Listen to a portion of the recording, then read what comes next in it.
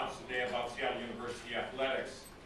On behalf of the Board of Trustees of Seattle University, we are announcing that Seattle University has accepted the invitation to join the Western Athletic Conference on July 1st, 2012, the first time that we are in full member status in the, in the NCAA Division I. Let's hear it for that.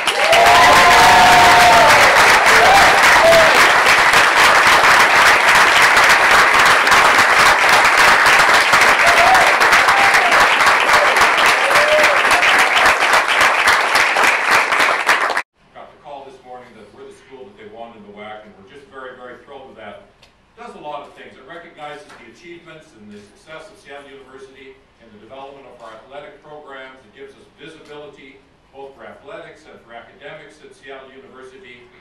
We're headed for championships